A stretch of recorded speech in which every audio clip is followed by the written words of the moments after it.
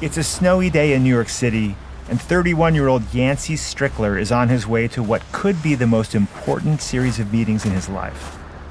The year is 2009, and Yancey and his friends Perry Chen and Charles Adler have come up with a simple, but they think powerful idea. They want to use the internet to connect artists, filmmakers, musicians, and inventors with regular people who are willing to put up cash to back their projects. They spent the last four years developing and honing their business plan. They've got tons of enthusiasm. What they don't have is money. So today they're making their pitch to venture capital firms. Their palms are sweaty and their nerves are raw as they enter a plush suite of offices. They're ushered into a conference room that's bigger than their apartments. They present their idea, summoning the passion that has animated them all these years. And the venture capitalist reaction is Huh? Why would anyone give money to a total stranger? But they don't give up. They make their pitch at another firm and another. And they keep getting shown the door. Until finally, somebody gets it. And at 4:30 p.m. on April 28, 2009, a company called Kickstarter launches with a project called Drawing for Dollars. An artist named Dark Pony offers to make a sketch for the highest bidder. 3 days later, the winning bid comes in a whopping 35 bucks. A few weeks after that, a singer songwriter named Allison Weiss posts a video on Kickstarter to promote her upcoming album. Dear Internet, I need your help. I'm trying to make a CD. Hello, Internet. My name is Allison Weiss. You may know me from the. The video is charming and personal, and it attracts a lot of attention. Allison even offers prizes, like she'll come to your house and play a concert. 205 backers pledge over $7,000 to help fund her EP. More projects get funded. The momentum builds, and within just a few months, Time magazine names Kickstarter one of the inventions of the year. Musicians, filmmakers, and artists and inventors and creators of every stripe are seeing their passion projects become reality. Kickstarter continues to grow, spawning competitors and raising billions of dollars from millions of backers to fund hundreds of thousands of projects. Eight years after the launch, Yancey Strickler steps down as CEO, but he keeps searching for new ideas. One warm fall day, he's strolling down a Manhattan sidewalk with his wife and son, and he passes a newsstand and a headline catches his eye. It's from a newspaper called the China Daily, and the headline is about China's plans for the year 2050. Yancey stops in his tracks. What are his plans for the future? What's America's plan? 2050 is just 30 years away.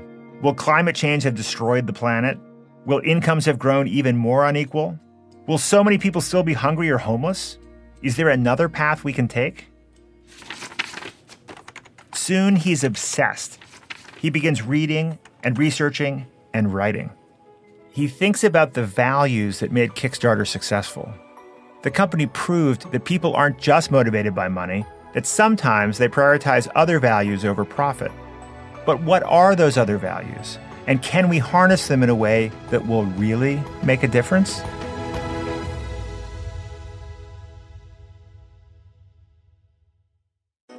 Hey, I'm Michael Kovnat, host of the Next Big Idea Daily. The show is a masterclass in better living from some of the smartest writers around. Every morning, Monday through Friday, we'll serve up a quick 10 minute lesson on how to strengthen your relationships, supercharge your creativity, boost your productivity, and more. Follow the Next Big Idea Daily wherever you get your podcasts.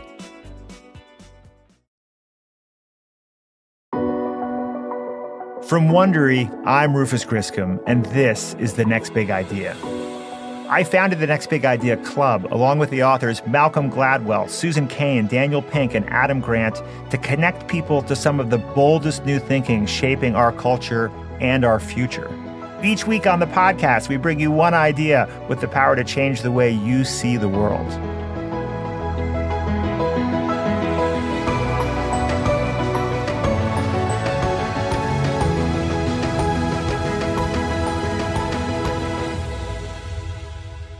This week, kickstarting the future. While running Kickstarter, Yancey Strickler saw firsthand how a simple idea can change the world.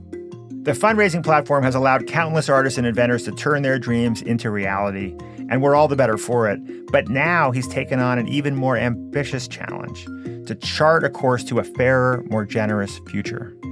That's what he sets out to do in his new book, This Could Be Our Future A Manifesto for a More Generous World.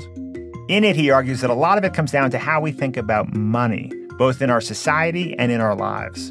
Money has infiltrated our consciousness so deeply that it can drive almost every decision we make. He says that is a very big problem, but it's a problem that we have the power to solve. We talked in front of a live breakfast audience at BetaWorks Studios in the Meatpacking District in New York City. So, Yancey, thank you for coming on the Next Big Idea podcast. Yeah, thanks for having me. So, this is not just a book, it's a manifesto. It, it says so in the subtitle. What is your core thesis and why does it call for a manifesto? Yeah, let's talk about the word manifesto. I mean, I had to swallow hard before putting that in the title. I mean, to do that in 2019, you're like, asshole, you know, immediately. But uh, you know, the book is not a it's not an airtight legal argument. There's a lot of data, there's a lot of ideas, but it's ultimately uh, making the case for a point of view based on my personal experience and just some things that I, I see in the world. You know, I want someone reading this book to walk away thinking that the world is not as solid as they thought, and to think that there's a lot more to the picture that we've been ignoring and you know to feel that to feel that in your body. So I, I, write about how our belief that the correct choice in every decision is whichever option makes the most money how that's become the default setting that just operates the world. And i call this idea of financial maximization and it's something that is so deeply ingrained we don't think about it that it hasn't always been that way. And that this is something that changed during the lifetimes of people alive now. 1970 i think was the year the world began to change how it operated according to this principle. So, you know, once you start thinking about things from that way, uh, to me, it becomes obvious that how we orient government, how we orient education, healthcare, all these things are based on this same principle. And behind it is the belief that if we just amass a big enough capital base, we can just solve every problem, right? And this has sort of been the bet of the last 50 years. But we're in the fifth straight decade of that failing to achieve its goal. It keeps not working for a half a century, it has not worked. But yet we, we think it's natural. We think it's how it has to be. And there have been pretty dramatic consequences in these last 30, 40 years from this kind of shift in priorities. Yeah. What, what to you are some of the most sort of important and devastating impacts of this of this shift? You know, certainly a big one has just been income distribution and all the secondary effects it's had. So, from 1948 to 1973, the so-called golden age of capitalism, worker pay rose 90 plus percent. The lowest paid people got bigger raises than the highest paid people. And then in 1973, that stopped. The workers kept producing more value than ever. They stopped getting paid like they were. Since 1973, the average American worker compensation has gone up 9%. Over those same years, executive compensation has increased 1,000%. The metaphor that I use to illustrate this in the book, when I think about this dynamic, the image that comes to mind is the mullet. The mullet, I trust you all remember, it's the peak of 80s hair technology. Uh, it's you know, business in front, party in the back. You got everything you need. And so today we're living in a mullet economy where for 90% of people, for workers, it is business in front with wage freezes, layoffs, more job insecurity than we've had in decades. And then for the top 1 to 10%, it is a party in the back with buybacks, a 1,000% increase in compensation. And this, this is, you know, these things are related. This happens by workers not getting raises, by people getting laid off, that money being redistributed to the top 1 to 10% instead. And this is the income gap. It is, it is intentional, it is strategic, and it is based on the thought that if we just grow as much money as possible, again, it will solve every problem. Right now, the United States is the most profitable nation and the most profitable time in human history, and 43% of Americans can't afford their bills every month. And it's because while pay has stayed flat, the cost of healthcare, education, everything else has skyrocketed because it's being run according to principles of financial maximization.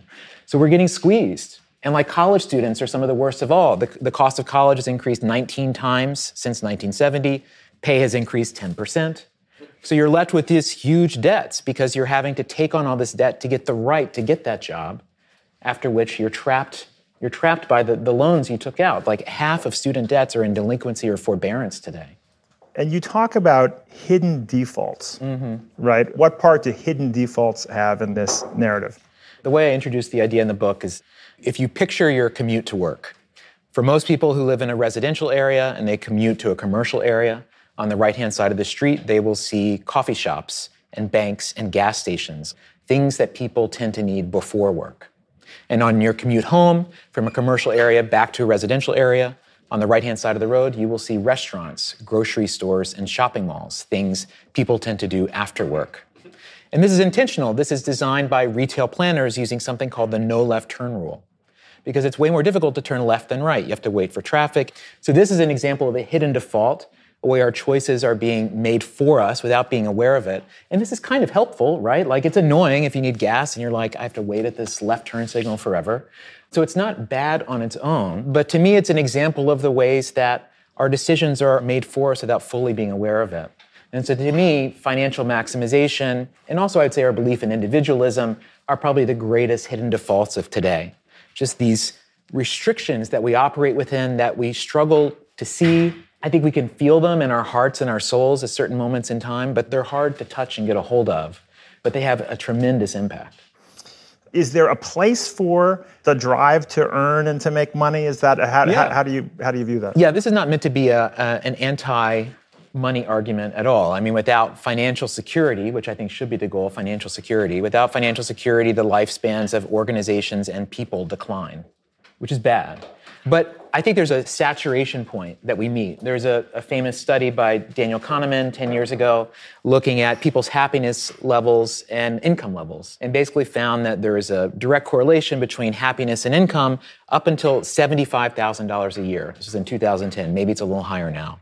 But once someone made $75,000 a year, no matter how much more money they made, their happiness didn't increase that much. And to me, this suggests that money after that point is like the diminishing returns of you have enough. And so I think people trying to attain financial security or designing their lives around financial security is like a thousand percent right. That is not the problem. The problem is when people reach that point and then don't become aware of how their value system should shift. Don't be aware of the other sorts of things that they should grow.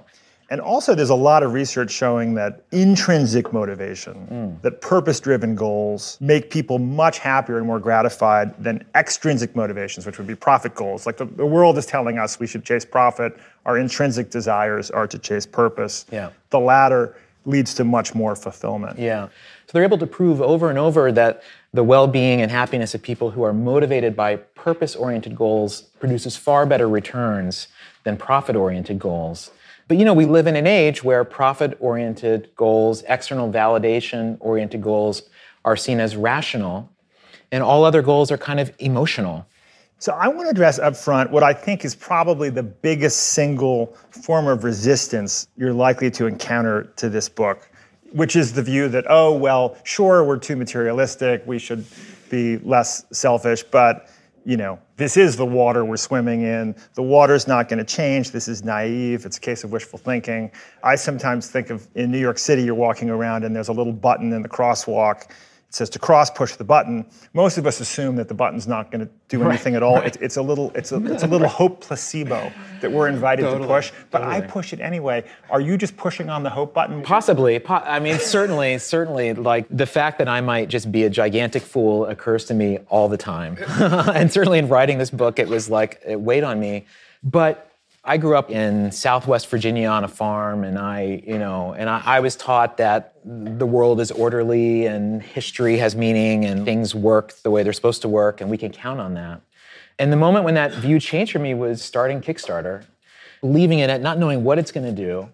And then it became real solely because other human beings believed in that idea. My initial experience of that was I felt terrified. It maybe took a year, but I, I eventually became excited by it because I just thought, well, shit, that means like nothing is as solid as we think.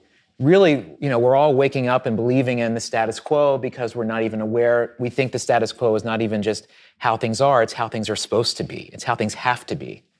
And if that's not true, then what is there? So that realization eventually came to feel like almost a superpower. Like I could just see this other way that things operated. And one of my motivations of the book was wanting to like instill that not just that idea, but that feeling, that body sense of that. Because to me, it's still really powerful. So, yes, I might be a naive fool, but our capacity to evolve, I think we underrate more than almost anything. We so severely underrate it, and for all kinds of good reasons. I mean, life is hard, like thinking beyond today can be difficult, Yep. like all sorts of things. But if we have a plan, Yep. if we have a plan, the- the potential is unlimited. And like if I think about me growing up in Southwest Virginia, believing the world would just work the way it would, like this is the challenge of my generation, which is that we believed our institutions would just hold naturally. We didn't pay attention to them. Instead of helping to support the institutions that had created our own success, it's like, no, let's make startups. Let's audition for MTV Real World. Let's be the most me I can be. And just the world will keep flourishing. But the past 10 years have showed us that that is not true. It's not going to work that way. So I think that that it's a scary thought, it's a powerful thought, and you know, one of the ways the book is really pitched and presented is to Generation Z, millennial generation, who will be fully empowered by 2050. And if we look at like Greta Thunberg, she's taking the baton already. If they have a plan for where we should be, we can go there. Yeah. We can go there. But the idea that we should iterate on where we are now or we should just continue with our current trajectory, that is death. I think that actually, to the skeptics, the Kickstarter story itself is really one of the great examples of how much behavior can change. Because when you were sitting there, you know, it took four years, right, between Kickstarter launched in May of 2009. You guys spent, as I have read, four years working to build it, trying to get the traction, trying trying to get the resources to make, Yeah. make this come to fruition.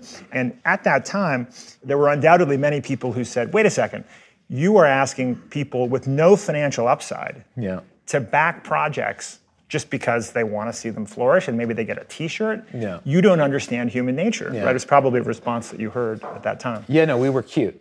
You're cute. Oh, that's nice. yeah. That's a nice idea. You know, just a little pat on the head, but not not taken seriously. so let's take a moment to appreciate the scale of kickstarter's achievements and this has to if, if you can put yourself back to you know 2007 Yeah. Yancey, Yeah. you know, struggling away with your day job, trying to see if it might be possible to make this a reality. This would be extraordinary for that younger Yancey to, to hear this. In its first 10 years, 16 million people have backed 450,000 projects with $4 billion of pledges. This has made possible Oscar winning movies, new fields of technology, art that hangs on the wall of MoMA. So it's to the extent that some might say, well, this plan for a more generous world is Pollyanna ish. Yeah. You could reasonably reply, well, maybe so, but it's worked so far. Yeah, I I mean, but a Pollyanna-ish, you know, big, hairy, audacious goals, like you need these things. You need these things. I think pure, I mean, incrementalism is is incredibly important and is like the least violent way for change to occur. But you have to increment yourself towards somewhere. You, you need a destination. So I feel like uh, you know, I, I don't know. I, I feel like even if even if the grandest hopes of this fall short, I, I feel like painting that picture has an enormous influence. These stories we tell, just yeah, they, they affect us in all kinds of ways. So we're living in a world where corporate profits trump human values, where the richest country in the world is seeing the biggest disparity of income, and more and more people are struggling just to get by. But how did we get here? Is it the natural course of capitalism or something more deliberate?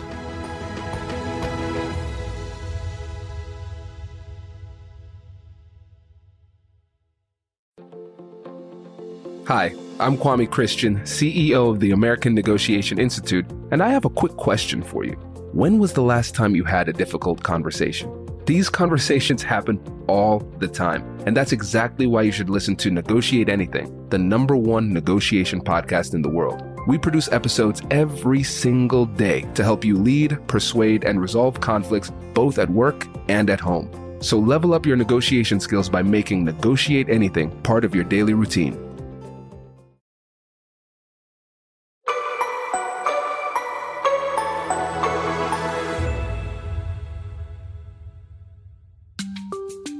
The 18th century economist and philosopher Adam Smith is widely credited as the father of free market capitalism.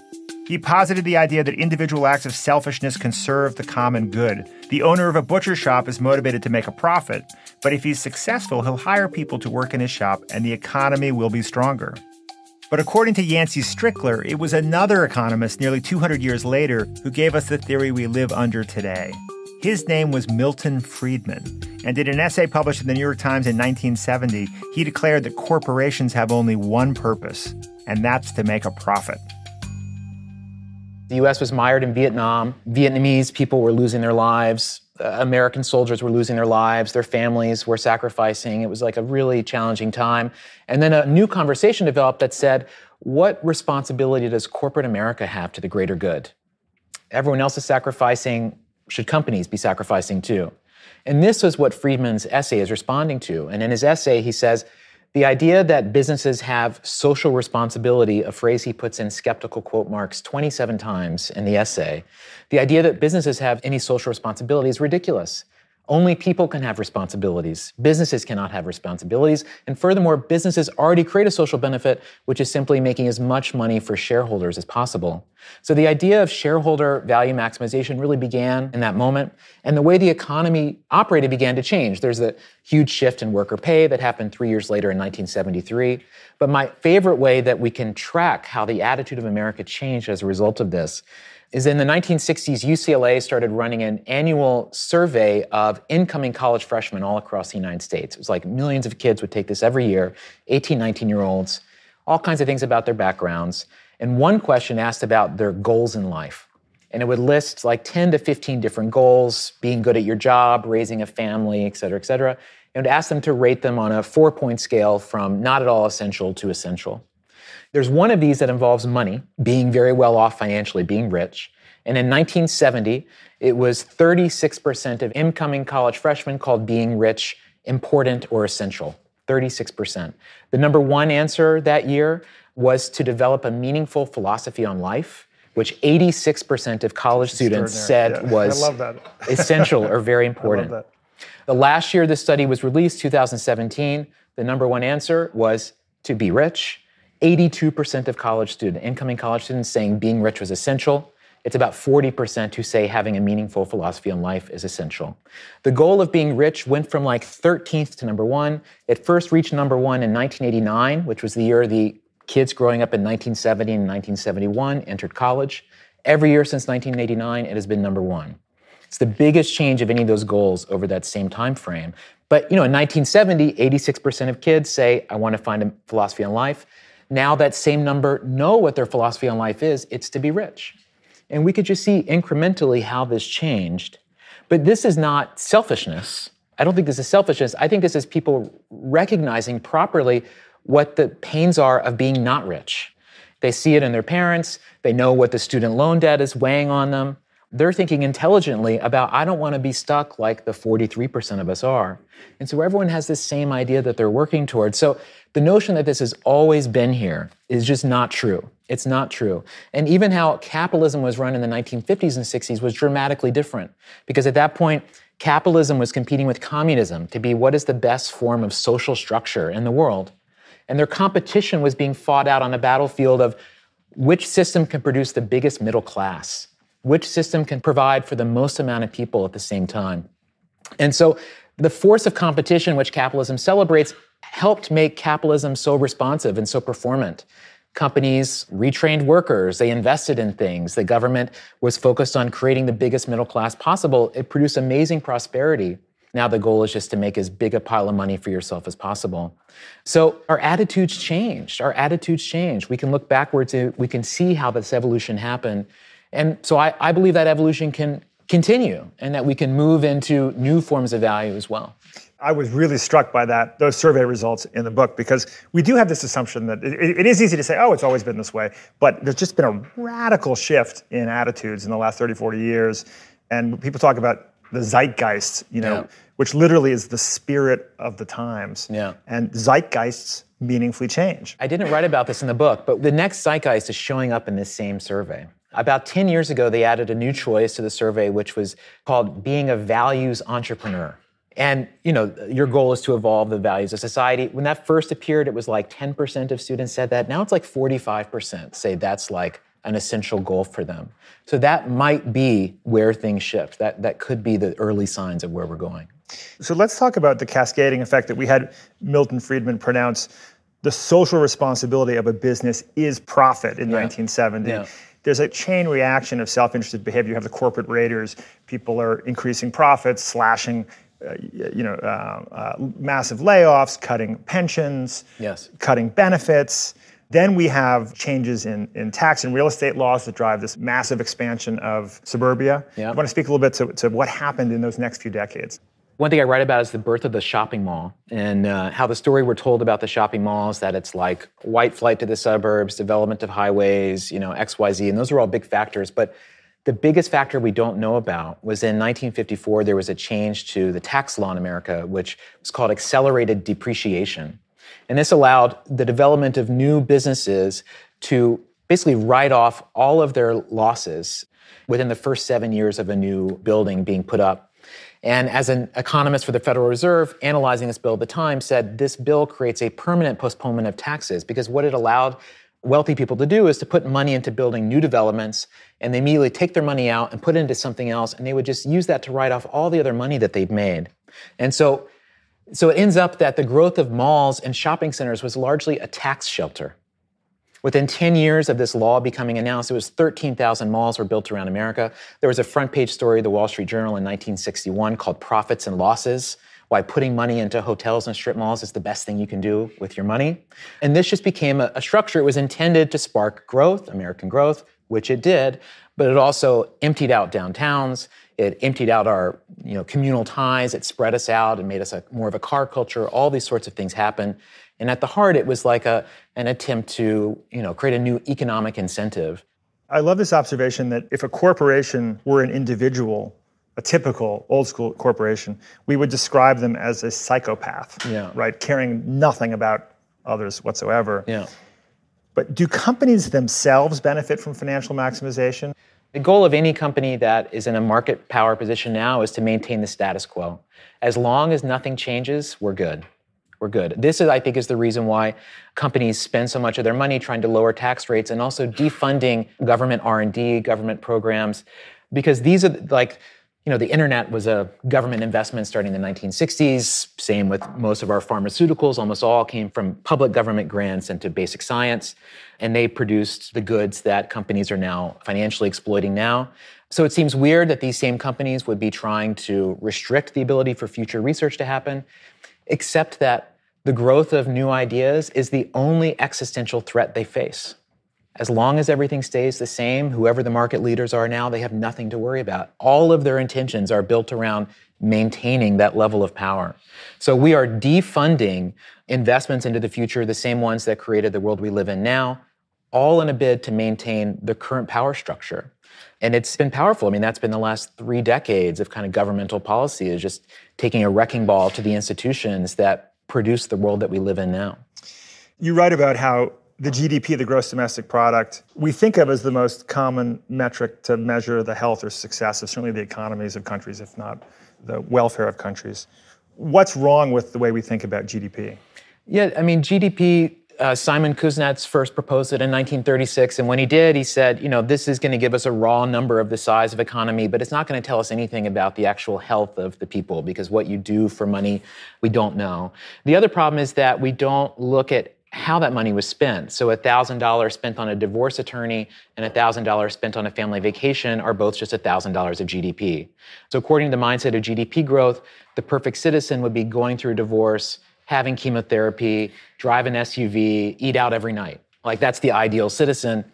We know that's not true, but our systems like desire that kind of outcome.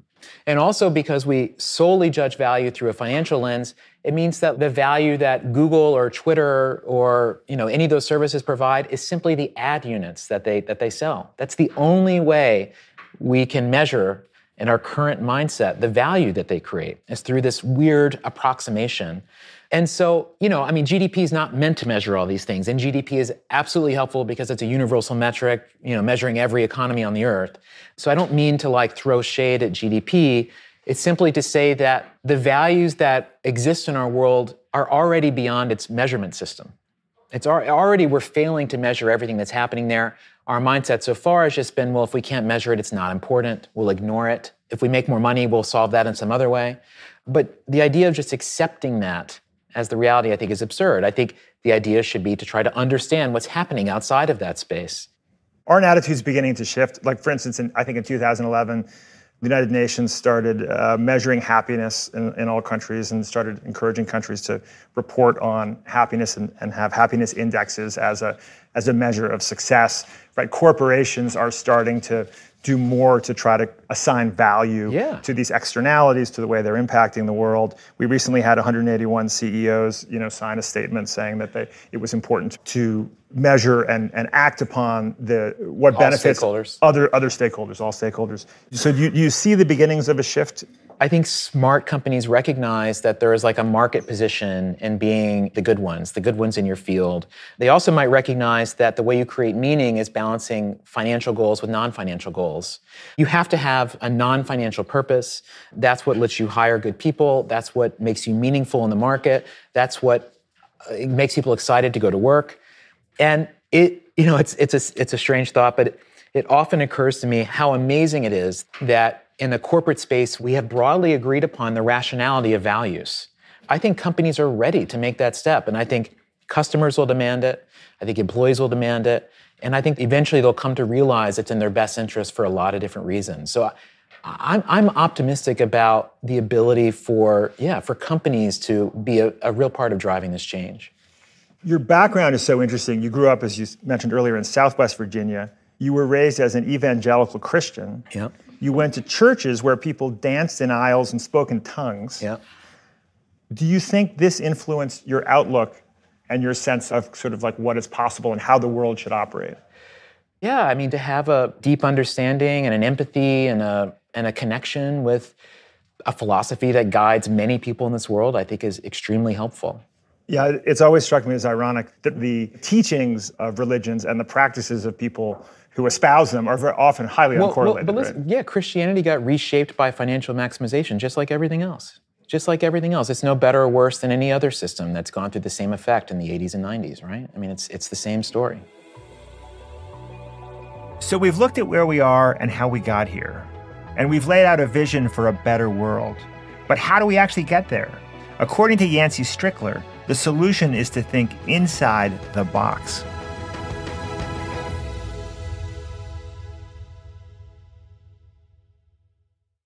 Hey folks, Rufus here. If you're a fan of our interviews with physicians, scientists, or entrepreneurs, then I have the perfect podcast recommendation for you Raising Health. Previously called BioEats World, Raising Health comes from leading venture capital firm Andreessen Horowitz, A16Z.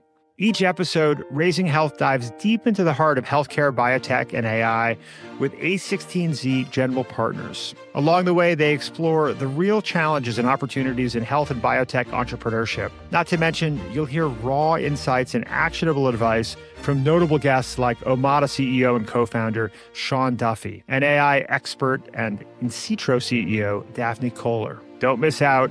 Follow Raising Health wherever you get your podcasts.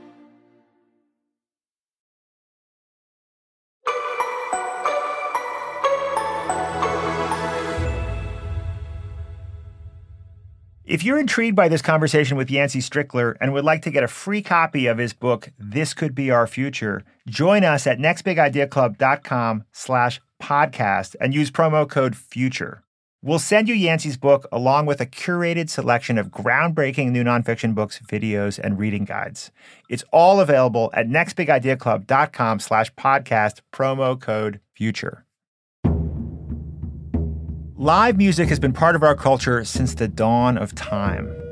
We gather together to share the moment, to feel the vibrations of the music, and to applaud our favorite performers. It's a primal experience. If we can afford a ticket, the same technology that lets us buy tickets online allows scalpers to buy up blocks of tickets and resell them for many times their face value. In this video, guys, we'll look at five ways to get better at scalping. Scalping is another example of financial maximization. While it's easy money for the middleman, it drives a wedge between performers and their fans. But nobody knew what to do about it until someone smart and powerful decided to take matters into her own hands. And the Grammy goes to Adele! By 2015, Adele is one of the most successful pop singers in the world. She's won 10 Grammys and an Oscar and is about to go on tour to promote her latest album, 25. Her concerts sell out instantly. But for Adele, that's a problem because scalpers buy up huge blocks of tickets and her most loyal fans are priced out. Brokers can sometimes buy a thousand tickets a minute and then they resell them at very inflated prices. For example, Adele's six shows in New York City sold out in less than an hour. Adele can't stand this. She grew up in South London raised by a single mom. Money was tight. And now the fans she feels closest to, people like her, can't afford to go to her concerts. So she partners with a startup called Songkick. Songkick uses an algorithm to scour social media and identify Adele's most loyal fans. Adele then sets aside 40% of her tickets and sends those fans a link to purchase them at face value.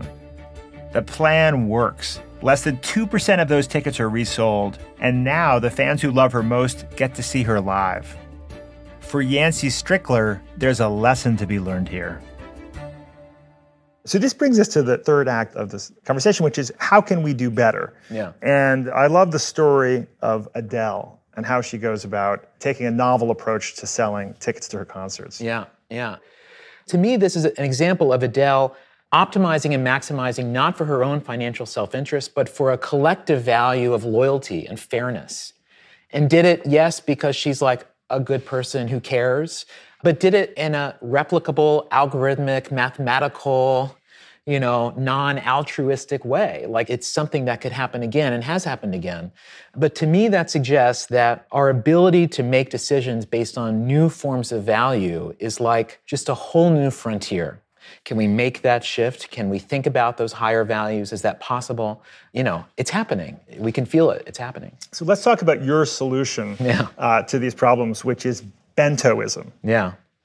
Yeah, so I wrote a book that has the word manifesto in the title and introduces a new ism into the world in 2019. So uh, good luck to me. So, uh, as I was thinking about this question of our true self interest, kind of the, one of the core thoughts of the book was the idea that Adam Smith writes about of wealth of nations, of people operating according to their self interest. Not only can society operate that way, but it's a preferable way for society to function. I thought that's true, but I think that our notion of self interest is actually bigger than we think it is. And so, what is the possibility of changing what we think of as our self interest? One day I was doodling in my notebook and I drew a hockey stick graph where a slope of the line just goes up and to the right. Whatever it is you're trying to achieve, is just growing so fast. The line looks awesome. This is what former CEOs do. They just doodle hockey stick graphs. Yeah, got it. Yeah, and and but I drew this, and then I just had this thought of this x-axis on the bottom measuring time. It goes from now all the way into the future. It goes out far farther than we imagine. And the y axis measuring our self interest, it also keeps going because our self interest grows. It goes from me to us. The difference of being a single person and having a family is enormous. The difference between being a solo entrepreneur and having employees is enormous. Our responsibilities increase. And so as I expanded this graph, I suddenly saw all this blank space that I'd never really thought about before. And I like drew it out into a two by two, sort of creating four different squares. And I thought, what did I just draw? What is this? And I just tried to write down a description of it. And I wrote down beyond near term orientation. This is a way to see beyond our near term orientation. And I looked at that and realized that it was an acronym for bento. And I thought, it's a bento box. It's a bento box because the beauty of the bento, bento comes from a Japanese word meaning convenience. And the, the bento has four compartments and a lid, which means that you can always have a variety of things. You're never going to over maximize onto one type of food. It's always a healthy mix of things.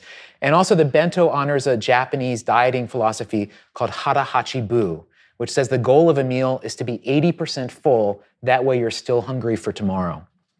So I thought, bentoism. Bentoism is a way to see beyond this near term orientation, and we can think of as there being four distinct spaces of our self interest. There's now me, what I want and need right now. This is where hockey stick graphs live. This is the space that the world today operates on.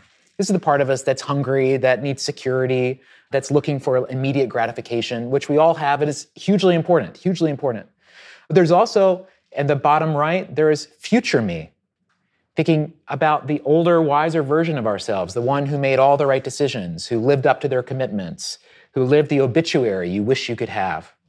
There's also in the top left, there's now us, the people that we rely on and who rely on us, our families, our friends, our coworkers. And finally, in the top right corner, there's future us, our children and everybody else's children too. So our self interest is not just this now me, it's future me, it's now us, it's future us. Every decision we make impacts all these spaces.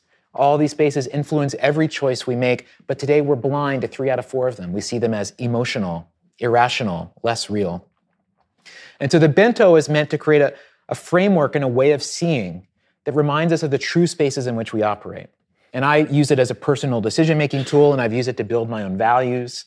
But I also think of it as a value finding tool. Because in the same way that financial wealth exists in the now me space as like a rational value for measuring, you know, what, what we want and need right now, I believe that there will be rational values that can be defined in each of those spaces.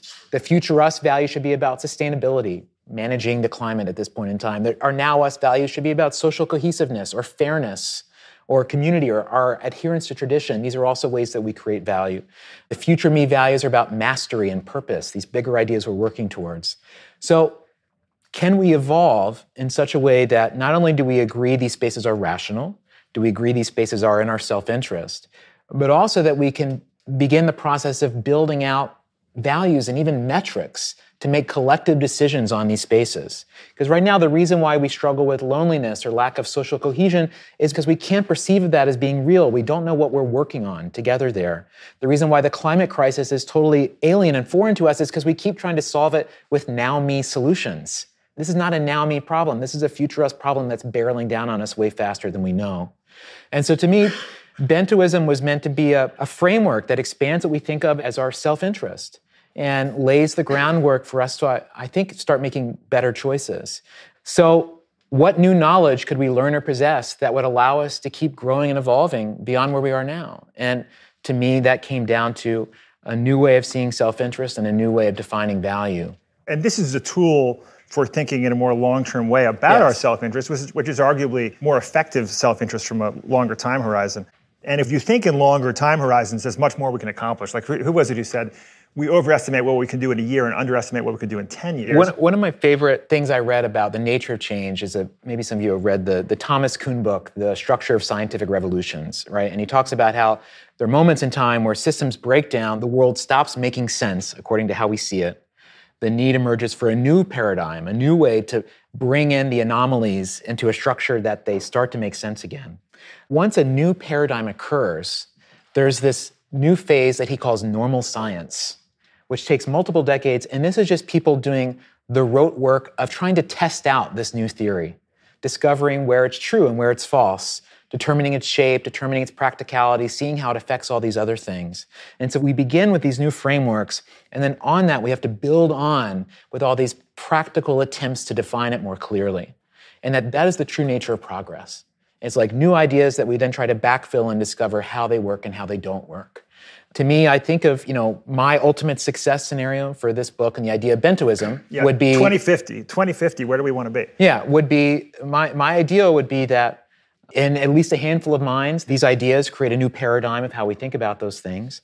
And that I imagine creating an organization after this called the Bento Society that will be giving grants and working with organizations and trying to do the normal science of proving out this theory. I think that normal science is expanding our idea of rational self interest. I think it's trying to lay the groundwork for new values, trying to measure things, you know, and that's work that will take decades. But a lot of the way the book is pitched is to the millennial and Z generation saying, hey, instead of signing up with the financially maximizing company and trying to help them increase their margins, instead jump on board this new frontier of defining the future of what value is because there's decades of work to be done here that will dramatically change how every one of us lives and operates.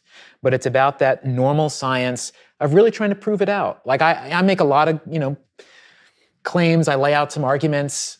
I believe in them, but I'm sure a lot of it's not, you know, we'll discover what's real and what's not real. But you start with the destination and then you try to to backfill and try to understand what works and what doesn't and to make that real. You're building a bridge to somewhere. And so that's yeah, that, that's my greatest hope. So in 2050, well, I hope that we still have a civilization as a result of the climate crisis. I'm I'm not laughing. I'm not laughing. Like genuinely, genuinely, that is that is question number one. But yeah, I think it's that we would have a radical shift in how we think of self-interest, and that the kinds of things we're talking about today are like so boring. like everyone's just like this. Why? Why are we even talking about this? Of course, of course.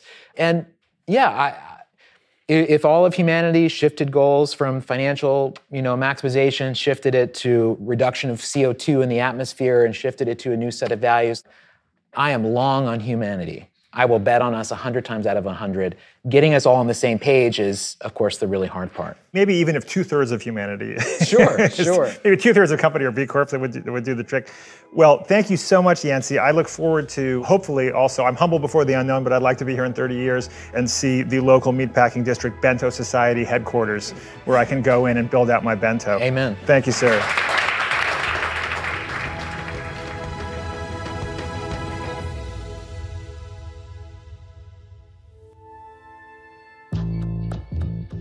If you enjoyed this episode and want to join the Next Big Idea Club, go to nextbigideaclub.com slash podcast. If you enter promo code FUTURE, we'll send you a free copy of Yancey Strickler's new book, This Could Be Our Future, when you subscribe. A special thanks today to Yancey Strickler. His book, This Could Be Our Future, is available wherever books are sold. I'm your host, Rufus Griscom. This episode was written by Steve Chivers. Sound design was by Jake Gorski. Our associate producer is Caleb Bissinger. Series producers are Emma Cortland and Michael Kovnat. Our senior producer is Jonathan Miller. Executive producers are Stephanie Jens, Marshall Lewy, and Hernan Lopez for Wondery.